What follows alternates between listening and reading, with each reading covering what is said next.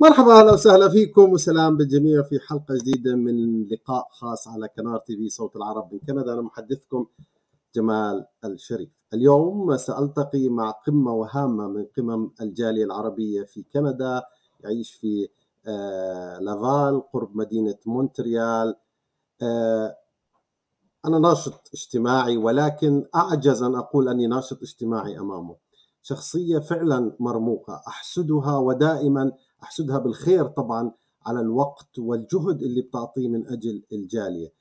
آه، دائما بشوفه متفاعل مع الآخرين يحاول يشتغل لخدمة الآخرين. وهاي الشخصيات يعني لازم تقدر لازم توضع على الرأس صراحة لأنه فعلا عطائهم اللي هي ناس كثير يمكن ما بتقدروا وقتهم في الترجمة ووضع المعلومات الصحيحة ليس بالأمر السهل. آه، أنا يعني كثير اليوم مبسوط إنه يكون ضيفي في هذه الحلقة السيد مدين آه، سلمان. أهلا وسهلا فيك أستاذ مدين. أهلا وسهلا دكتور. خجلتنا. يعني لا حقك مقدمه حقك. مقدمه مقدمة كثير أنا بعتبرها يعني آه، مبالغة بصراحه يعني. بس آه، أشكرك شكرا شكرا جزيلا. اللي اللي, اللي ما اعرفك بجهلك يا أستاذ مديان. الله يسعدك الله يسلمك الله يخليك. تواضعك هذا أصلا هو قمة ما الجميل فيك يعني. الله يحفظك ويسلمك يا رب. شكرا شكرا جزيلا على المقدمة اللطيفة وأنا سعيد إني أكون معك و... وألتقي فيك لأول مرة. أنت شخص بالمقابل إنسان محترم جدا واستفدنا منك وتعلمنا منك كثير ومتابعك أنا على كل منصات التواصل الاجتماعي على التيك توك. بالصحة وعلى الفيسبوك بالمعلومات اللي عم نستفيد منها منك. وأنا سعيد جدا انه إنه ألتقي معك. الله يخليك. أنا أكثر وإن شاء الله يعني مونتريال واوتوا مش بعاد نيجي هيك بنزوركم لنا الشرف لنا الشرف والله أكيد. لنا الشرف وبتنور مونتريال. نور. تسلم تسلم. طيب مديان خلينا نعرف الناس من هو مديان آه، من أين أنت أصلا كم لك في كندا آه، عائلتك شو أطفال عندك يعني كل هاي الأمور البسيطة. آه يا عزيزي أنا اسمي مديان السيد سلمان. آه أنا مواطن عربي سوري آه من من مدينة الميادين قرب دير الزور. قدمت إلى كندا بال 2019 آه، أنا خريج هندسة مدنية عام 2002 آه، كنت أعمل في المملكة العربية السعودية من 2002 إلى 2019 لما جيت على كندا واستقريت فيها. وكنت روح وأجي بالفترة الأولى يعني لكن استقريت بشكل نهائي من حوالي سنة تقريبا. وهي فترة مش طويلة بصراحة. لذلك أحيانا يعني بحط شوية معلومات. بخجل إني يعني أحكي فيها لأنه بحس حالي لسه جديد في البلد. ماني ماني قديم. بس بصراحة يعني أنا قدمت على على كندا بال 2016 وكنت عارف يعني في يوم من الأيام إني حأطلع على هي البلد فدرستها. درستها كويس يعني كأنه لأنه كانت حتكون مرحلة مرحلة جديدة في حياتي فابتديت إني أحضر للمرحلة هذه من قبل ما ما أطلع لهون. وهذا الشيء يمكن هو اللي أحيانا بيكشف لك معلومات حقيقة الناس اللي بتكون عايشة جوا المعمعة بتجهلها. آه، لما تبلش تبحث بنفسك آه، وتشوف المصادر اللي بيكون الإنسان أحيانا آه، في نفس البلد اللي هو مقيم فيها ما ما بيعرفها يمكن هذا هو اللي بيفتح لك الابواب المغلقة يعني. فابتديت أحضر لهي المرحلة من من البدايات والحمد لله يعني الأمور سلكت شوي شوي. عندك أبناء ما شاء الله. أنا عندي ثلاث بنات عندي آه، جنى 16 سنة وجود 15 سنة صبايا طولي صاروا آه، وعندي لين. لين عمرها أربع سنين. الله يخلي لك. آخر العنقود هاي. الله يحفظ لك. نعم نعم. آه إن شاء الله طبعا يحفظ لك إياهم ويكونوا بالذريه الصالحة ويخلي لك إياهم. طب أنت عايش في كيبيك في مونريال لافال صحيح. آه أنت الإنجليزي أحسن عندك ولا الفرنسي صراحة؟ أنا صفر بالفرنسي بصراحة. يعني آه. عادي تعيش في لافال بدون فرنسي. والله يا دكتور شوف آه لأنه هذا آه سؤال كثير بيسألوه اللي بدهم يجوا على هذا سؤال مهم مهم. هذا سؤال مهم فعلا. هو أنا آه جيت في كفالة خاصة. كفيلي موجود في كيبك كان. فالسبب الأول اللي خلاني أضل بكيبك هو وجود كفيلي في كيبك ما حبيت إني اغادر هذا رقم واحد. رقم اثنين أنا كان عندي رغبة إنه اولادي اولادي لما أجوا لهون كانوا في السعودية في مدرسة يعني بيحكوا إنجليزي متعلمين إنجليزي. فكان عندي رغبة إنهم يتعلموا اللغة الثانية باعتبارهم حيعيشوا بكندا فوجود اللغتين معهم حيكون ادفانتج لهم. آه، لأنه الأولاد هم المشروع الأساسي بالهجرة على كندا. يعني هم الاستثمار الرئيسي. يعني مش مش يعني أنا ما بدي أكبر حالي بس ما حأعتبر حالي إني أنا ال ال ال ال ال الأساس تبع هذا المشروع. الأساس هي الاولاد فأنا كان عندي رغبة إن الأولاد يتعلموا اللغتين. فحبيت إنهم يضلوا بكيبك في في البداية على الأقل حتى يتعلموا اللغة الفرنسية بالإضافة للغة الإنجليزية. آه، فكانت هذه الفكرة الأساسية لكن أنت بتعرف لما بتجي على محل وبتستقر فيه وبتبلش تتعلم على الناس تتعلم على الجيران تتعلم يصير لك community يصير لك معارف بصير من الصعب إنك تتركه وتطلع منه. فإجابتي على سؤالك هل اللغة الفرنسية ضرورية بمونتريال؟ أكيد هي advantage كبير لكن مش هي بس العامل الرئيسي اللي بيحكم نجاحك في في كيبك. أه حتى تكون صادق لازم إنك تتعلم الفرنسية ولازم إنك لحتى تنخرط بشكل كامل مع مع المجتمع في كيبك. ولكن مش ضروري إنه تكون عندك الفرنسية لحتى تبتدي. ف لا الحمد لله أنا يعني ما عانيت من, من هاي المشكلة. اشتغلت. الفرنسي معهم هلأ؟ آه لا بيحكوا فرنسي كويس الحمد لله. سلكوا طبيعي يعني صار إيه, إيه. إيه، إيه، في خلال تقريبا يعني ست. سبع شهور في خلال ست سبع شهور. تعرف الأطفال بضلوا عجينه يعني سهل جدا إنهم يتعلموا إحنا إحنا اللي عانينا شوي بالموضوع. ابتديت أنا آخذ شوية كورسات part time شغل الحمد لله اشتغلت يعني في شركة أمريكية ما كان عامل اللغة ما كان مشكلة يعني. فابتديت آخذ الفرنسي ك part time على أساس إنه أنت eventually لازم تاخذ الفرنسي. لابد إذا بدك أنت تكون عضو فاعل بهذا المجتمع. إذا بدك تضلك عايش ضمن ال community تبعك ممكن إنك تعيش وتستمر لكن ما تنطلق يعني. ف يعني بنشتغل على الموضوع شوي شوي. طبعا هاي نقطة مهمة جدا اللي تحدثت فيها اللي هي الأطفال إنه سرعة اندماجهم في المجتمع وتعلمهم اللغة كثير خاصة من القادمين جدد بخافوا. نعم. أنا ما عنديش قدرة أعلم أولادي أو لغتي ضعيفة ولسه أنا بدي أتعلم كيف بدي أعلم أولادي. فالاطفال لا تخافوا عليهم. هدول يعني خاف على حالك. أنا دائما بحكي أنا بحكي لل... للي بيسألوني إنه خاف على حالك لا تخاف على أولادك. أولادك آه، حينطلقوا ما تأكلهم هم اطلاقا. يعني أنت اللي لازم تشتغل على حالك أنت اللي حتتغلب. أما الأولاد حي... حينطلقوا ببساطة يعني. بالعكس هم اللي بيعلمونا حاليا. أنا جنتي جنى هي اللي هي اللي بتدرسني يعني. مدرس. طيب بدنا نحكي عن آه المجتمع في كيبيك. هل انت زرت أماكن أخرى تقارن المجتمع الكندي الكيبيكي مع آه، مجتمع مثلا انتاريو أي أكيد أكيد. طبعا طبعا طبعا. أنا أول ما أجيت آه، في اصدقاء طبعا كثير في أوتاوا وفي ميسيساغا وفي أو في GTA بشكل عام يعني. وأكيد زرت المناطق هذه كلياتها.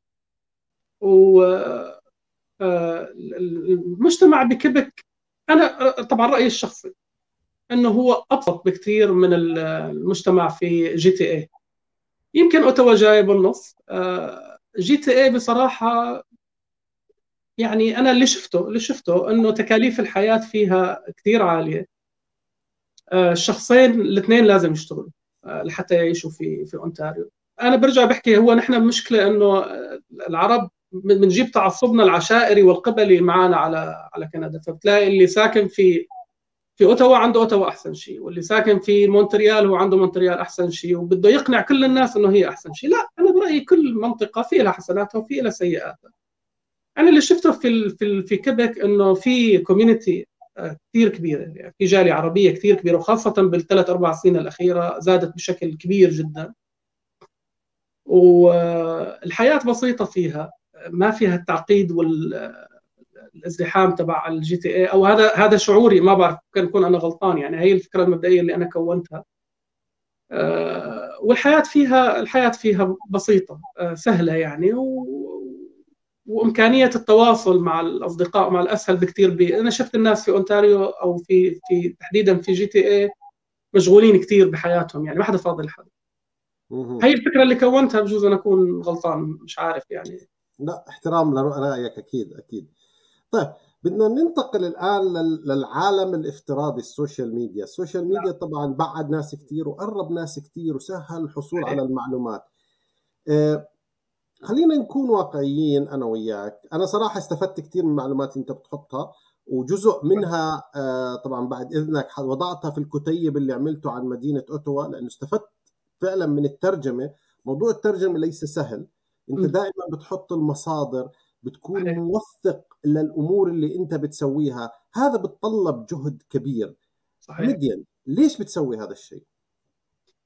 اوه آه صراحة آه سألت هذا السؤال سابقا من يمكن سنتين في واحد شخص بعث لي على على الخاص إنه ممكن أسألك سؤال تفضل. أنت ليش مسوي المجموعة هذه؟ وشو اللي بدك توصل له يعني. آه في عدة أسباب. آه السبب الأساسي أو كيف ابتدى الموضوع؟ الموضوع ابتدى بشكل عام هو لجمع المعلومات. يعني أنا في, في اليوم اللي قررت فيه إنه أنا جاي ابتديت أعمل مجموعة وصرنا نجمع بعضنا الناس اللي متقدمين آه، هجرة أو كفاله أو whatever المتقدمين مع بعض بلشنا نجمع بعضنا آه، عملنا مجموعة واتساب صار العدد كبير. تعرف الواتساب أكبر عدد؟ 250 صحيح. فقررنا نروح للفيسبوك. صرت أدعو بعض الناس أنا اللي أنا تعرفت عليهم كنت متابعهم آه، إنه ينضموا للمجموعة على أساس إنه هي الناس اللي بدها تيجي عندها أسئلة ممكن تسألها وتجاوب. وفي ناس طبعا مشكورة يعني شاركت معنا بالمجموعة. فابتدى الموضوع على هذا الأساس. ابتدى الموضوع أنه هي محاولة لجمع المعلومات. بعدين أصبح بالنسبة لي آه، يعني هاجس إنه أنا أحط المعلومة اللي عندي للناس. يعني في كثير ناس عندها قناعة إنه استعينوا على قضاء حوائجكم بالكتمان. آه، إنه أنت تعمل الشيء وما بدك حدا يعرف. اسكت ووطي صوت ولا حدا يسمع ولا تحكوا إلى آخره. هي العقلية مع الأسف موجودة كثير في مجتمعاتنا. وأنا بشوفها إنه غلط كبير. أنت أي شيء آه، أنت بتعرفه. لو شاركت الناس فيه ما راح ما راح يروح منك يعني. هذا شيء متاح لكل الناس. فكانت الفكرة من المجموعة هي إنه الشغلات الأشياء اللي أنا مريت فيها الأخطاء والأشياء الكويسة اللي أنا عملتها إني أحطها. على أساس إنه الناس آه، تقرأ هذه المواضيع وتستفيد منها آه، وتشارك أو تضيف عليها. وفعلا هي أخذت شوية جهد. لكن بالمقابل حتى أكون صادق آه، معك. هي أضافت لي أضافت لي معرفة لأني أنا كنت كثير أيام أبحث عن ال... يعني أبحث عن المعلومات فكنت أستفيد بمعرفه المعلومات.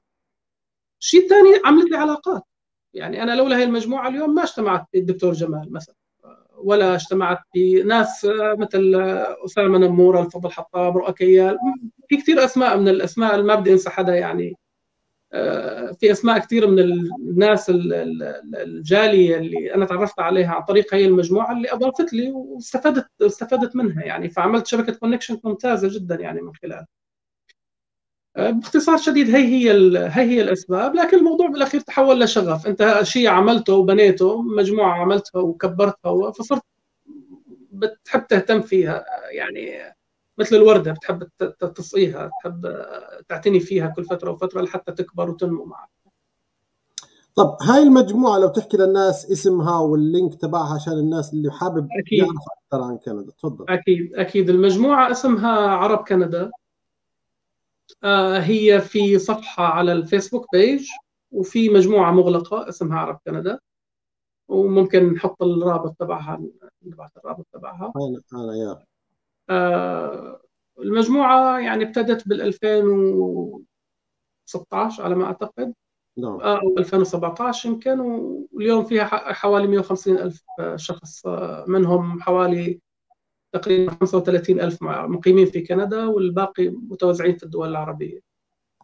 وفي صفحة صفحة اسمها صفحة عرب كندا. وفي صفحة طبعا باسمي أنا عاملها اسمها مديان سلمان بحط فيها برضه بعض المواضيع. ومؤخرا اقتحمنا عالم التيك توك صرنا تيك توك. بدي أسألك عن التيك توك كنت لسه.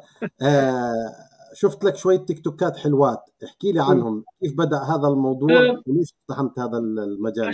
هو في توجه كبير عند تحديدا الجيل الصغير الشباب آه، للتيك توك. ابتدى جزء كبير منهم يترك الفيسبوك وحتى في يمكن من يومين شركة فيسبوك أعلنت بقوائمها المالية إنه هم فقدوا جزء كبير من ال من ال من المشتركين لصالح تيك طيب. فكانت الفكرة إنه ليش لا؟ يعني منصة متاحة ابتدينا فيها يعني بشوية فيديوهات نعرف نحط فيها شوية معلومات عن البلد ونعرف فيها عن البلد ونحط شوية معلومات للناس اللي مهتمة يعني. ولو إني ميال أنا للفيسبوك أكثر لأني بصراحه ما بحب الكاميرا. يعني بحب أكتب أسهل لي بالنسبة لي والموضوع الكتابة أسهل لي من من التعاطي مع الكاميرا أو الحديث المباشر يعني. الترجمة قديش بتاخذ منك وقت؟ انت بتترجم كثير شغلات وصراحة ترجمتك عميقة. هل لك آه، يعني باع في الترجمة ولا هو لا لا ابدا ابدا. ماني متخصص ماني متخصص اطلاقا ولكن بحط الفهم للموضوع دائما بكتب بأي مقال كتبته أنا إنه أنا شخص غير مختص. أنا هي الموضوع بالعكس يعني أنا أشكرك إنك لفت نظري لهي النقطة. آه، إنه كثير في ناس تسألني أحيانا تراسلني على الخاص إنه والله أنا عندي عيلتي وعندي أربع أولاد وعندي بتشتغل كذا وبشتغل هل؟ أنا ماني متخصص بالهجرة اطلاقا ودائما هذا الجواب بجاوبه للناس أنا لاني متخصص بالهجرة لاني متخصص بالأمور المالية. أنا بحط قراءتي للموضوع بحط وجهة نظري وأنت عليك إنه تبحث بنفسك وترجع لل وترجع للمختصين بهذا المجال.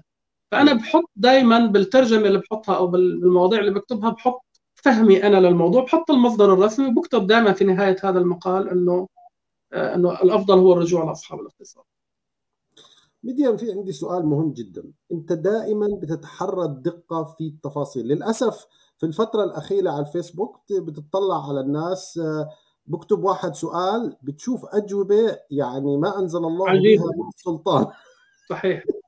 وإفتاء دار افتاء يعني إذا ما حد ما بيعرف يسكت عادي ما في مشكلة. ما حد طالب ولا جابرك بس تفتي صحيح. لشخص خاصة اللي غرقان بتعلق في قشة زي ما صحيح مدين اتهج نهج آخر دائما أنت بتحط المصادر تكتب من وين جبت المعلومة ومعلوماتك أنا بحكي يمكن 99% منها دقيقة 100% آه لماذا انتهجت هذا النهج؟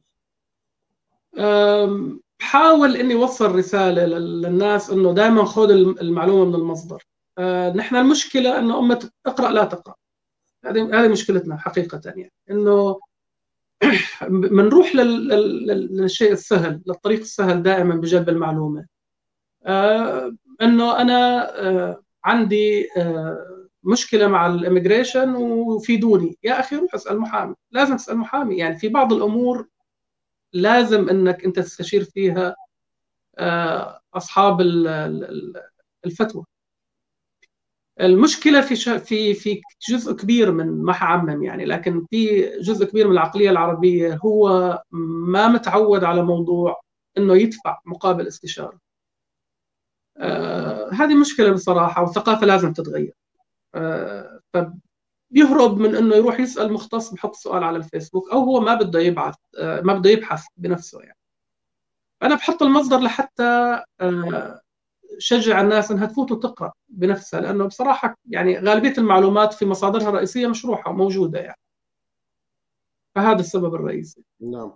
طب هل تتوقع يعني أنت لفت وجهة نظرنا لنقطة أمة تقرأ لا تقرأ أمة تقرا لا تقرأ هل تتوقع إنه الفيديوهات الآن آه، أخذت حيز كبير من من من ما يكتب؟ أنا بعرفك أنت بتحب تدون. بتحب تكتب كتابة.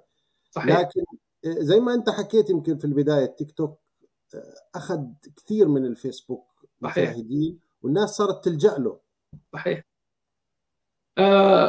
أكيد طبعا اليوتيوب وال والتيك توك وغيرهم من البرامج أكيد طبعا آه، تلقي المعلومة من التلفزيون أو من شخص بيحكيها ممكن يكون أسهل بكثير من انك إنك تبحث عنها وتقرأها. لكن المشكلة بنرجع لنفس الموضوع إنه مش كل معلومة بتنحط على تيك توك أو على آه، على يوتيوب صحيح بالمطلق. فلذلك أنت بدك المصدر الأساسي. يعني أنت اليوم لما بتدخل على Canada dot CA هذا الموقع محطوط فيه كل شيء. بدك تعرف مع يعني امبارح كان في موضوع تناقشنا فيه على موضوع معين آه، على ال tax آه، إنه هل تطبق على أحد الحسابات اللي هو ال TFSA على نوع معين تناقشنا بالموضوع. بسهولة بتدخل على جوجل بتدخل على الموقع Canada dot CA بتدخل على قسم ال tax بتدخل على هذا الحساب ف يعني بتعرف توصل للمعلومة. الحكومة حقيقة هون بكندا موفرة المعلومة لكل الناس. وحاطط لك أرقام تليفونات وإيميلات ممكن إنك تتواصل وتسأل. آه، لكن لا شك طبعا أنت ممكن إنك تلجأ لليوتيوب لتفهم أكثر لكن لا ممكن إنك تبني على فيديو باليوتيوب آه، تبني عليه قرارك أو التوجه اللي أنت راح تتوجهه. لابد إنك ترجع للمصدر الرئيسي. وبالمناسبه يعني إذا ما كنت قادر إنك تترجم أو تدخل للمرجع الرئيسي المتوفر مجانا هون لابد إنك تلجأ لشخص مختص سواء كان استشاري هجرة أو محامي أو دكتور أو محاسب ضريبي أو إلى إيش رسالتك للي بيفتوا على الفيسبوك وعلى بالأجوبة وبيضيعوا الناس اللي هو أصلا تايه مش عارف يلاقي المعلومة بروح واحد بيسلخه بالغرب معلومة بتخرب الدنيا عنده. إيش والله رسالتي له لا تفتي بما ليس لك به علما. حرام هذا الشيء آه، حتحاسب عليه. ومع الأسف يعني أنا بالمجموعة بالمجموعة المجموعه مجموعتنا بعرب كندا آه، آه، أنا وصديقي أنس عبد ربه هو اللي أسسنا المجموعة مع بعض. نقرأ التعليقات والله كلها كلها. آه لما يسمح طبعا كمان تعرف الإنسان في عنده يعني مشاغله بالنهاية ما هو متفرغ يعني تماما. وبنحذف التعليقات الخطأ و... واحيانا بنحضر إذا كان في تعليق مضلل. آه رسالتي لهم لا تفتي بما ليس لك به علم آه إن كنت ما بتعرف لا تكتب شيء. آه لأنه أحيانا ممكن انه الشخص يبني على على المعلومة اللي أنت حكيتها ويتصرف تصرف خطأ وهذه مشكلة كبيرة. وأيضا مع الأسف آه، رسالتي معلش بنفس الوقت كمان إنه للناس اللي بتكتب هذه الأسئلة على الفيسبوك حام حيم بالمصطلح الشعبي المتداول آه، بتنزل على عشر مجموعات.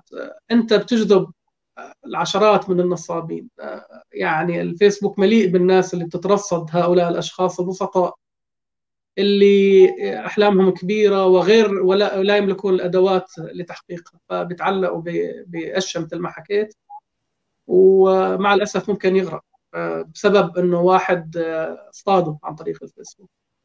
فالانسان لازم يكون حذر جدا جدا جدا بالتعاطي مع التعليقات وبالتعاطي مع الأشخاص. هذه هذا الموضوع لابد إنه الناس تأخذه بعين الاعتبار.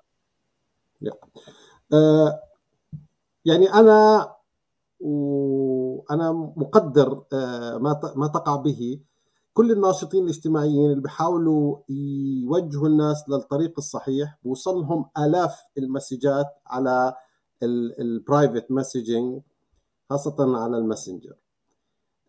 كيف تتفاعل معها؟ هل تقدر تجاوب عليها كلها؟ أنا أنا ignored أنا صراحة خاصة اللي بوصل على spam I know لأنه بده وقت يعني يمكن 24 ساعة والسبع أيام وال 365 يوم ما يكفوا قد ما في اسئله صحيح. انت شو بتسوي؟ إيه، أنا صار عندي شوية آه، خبرة بالأسئلة اللي بتجي وبكل صراحة عامل template أجوبة آه، محددة. بمواضيع محددة.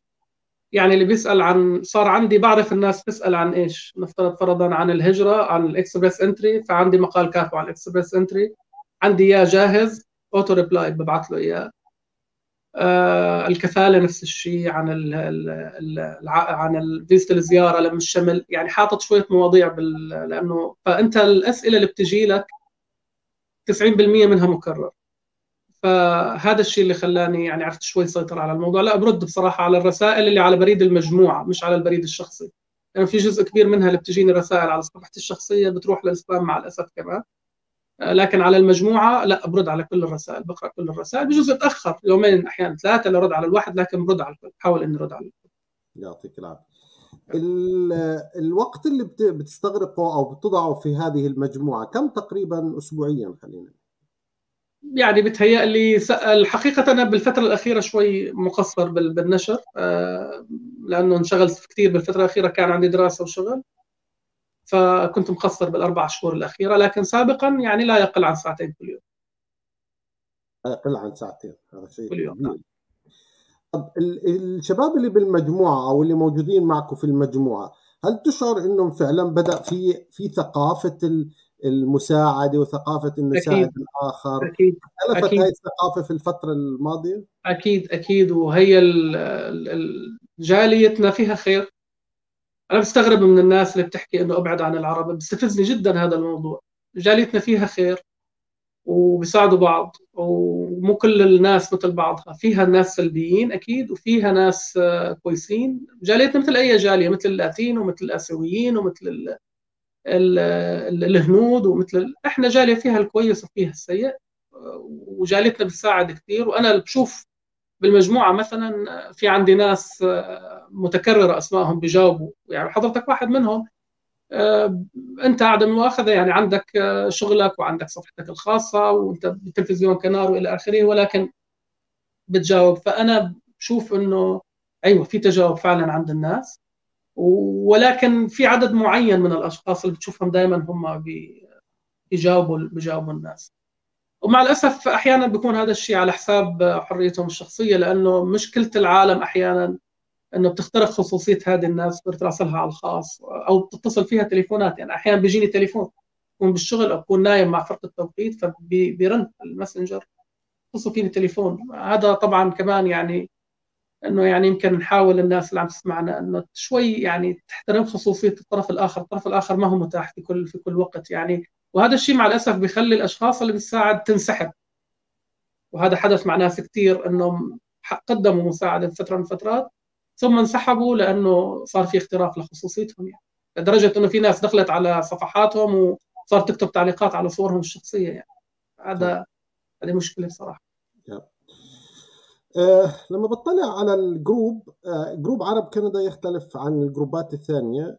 يعني بتطلع هون سؤال عن ال PR بده يسافر على لبنان هون سؤال بمونتريال بحاجة إلى عمل هون سؤال عن ال GTA والمهندسين هون سؤال مثلا عن آه، تورونتو بده يتعلم أكثر عن نورث يورك هون واحد جديد وحاصل على فيزا دراسه لكندا بيسال عن زوجته. آه، الأسئلة اللي موجودة يعني آه، أنا بطلع على group ات ثانية. هون رئيس حزب ال NDP بيتكلم عن موضوع مهم. مثلا هون شقة مفروشة في مساساغا كلها أمور مهمة. تطلع على group ات ثانية. هشتك بشتك. أغاني آه، رقص آه، نكت الصور ما لها معنى تضيع وقت. يعني اتس يعني you you time فقط إنه عم بتضيع وقت وأنت بهال group.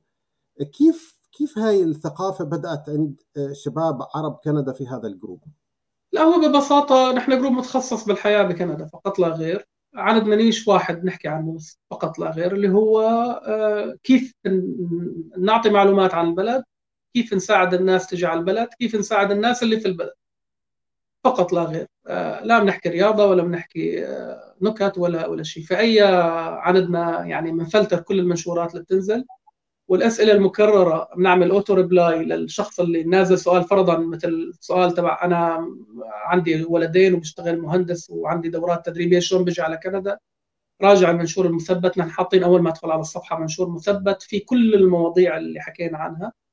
وبالتالي آه، بنطلب من الناس إنها ترجع على المنشور المثبت لحتى نتلافى موضوع التكرار. يعني الله يعطيكم العافية صراحة عمل جبار. وأتوقع إنه إن شاء الله في ميزان حسناتكم أول شيء و... الله يخليك. وربنا يعني تشوفوا الخير هذا دائما آه، إحنا دائما بنؤمن بإنه الخير بيرجع للشخص 100% آه، لو سواه بمكان ثاني مدين آه، أنت يعني من الشخصيات اللي أنا أفتخر إنه كنت معها اليوم في هذا اللقاء اللي لم يعطيك حقك ولم يعطي الجروب حقه ولكن أقولها وبكل صدق أني أنا شخصيا اللي عايش أكثر من مدين في كندا استفدت كثير من المقالات اللي بيقدمها مدين واستخدمت بعضها يعني بحكيها بكل صراحة في الكتيب اللي عملته عن مدينة أوتوا. فجزاك الله خير آه، والله يعطيك ألف عافية. بدي منك رسالة في النهاية للي بسمعك سواء داخل كندا أو خارجها. آه، أول شيء بدي أتشكرك مرة ثانية دكتور وهذا شهادة اعتز فيها وأنت شخص أنا يعني من أشد المعجبين فيك فأنا بفتخر بصراحة لما تحكي لي الكلام هذا. آه، رسالتي للناس اللي بتتابع المجموعة واللي مهتمة بالقدوم إلى كندا إنه كندا بلد حلو. جميل إنك تسعى إنك تجي له فيه الشيء الكويس فيه الشيء السيء. ما هو جنة الله على الأرض؟ وكمان ما هو بالسوء اللي بتحكي عنه بعض الناس. هذا كندا بلد آه، فيها الكويس فيها الشيء السيء إذا كان عندك رغبة بالقدوم إلى كندا فعليك أنك تسعى بهذا الاتجاه ولكن اتخذ القنوات الرسمية وانتبه من عشرات الآلاف من النصابين اللي بيصيدوا الناس آه، على أحلامهم. آه، هذه رسالتي لهم انتبه من النصابين لأنه أنا بصراحة أكثر شيء بيزعجني لما بشوف ناس بنضحك عليها لأنه صار في وسائل يعني آه، لا تعد ولا تحصى باصطياد الناس ووصلت لأعلى درجات التكنولوجيا اسعى ل ل لانك تجي بالطرق الشرعية وبالنهاية حلمك أنت اللي بتحققه لا تسمع للناس السلبيين و... واسعى لتحقيق حلمك. أكيد أكيد.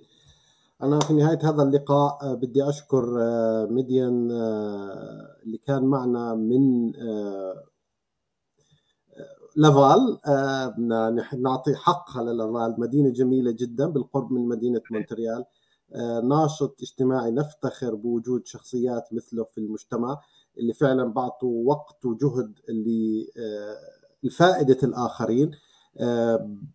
يعني أنا باسمي وباسم القناة وباسم جميع المشاهدين حابين نشكرك وندعو لك بالخير ندعو لبناتك دائما بالصحة والعافية وان تكونوا يكونوا إن شاء الله من أفضل الناس.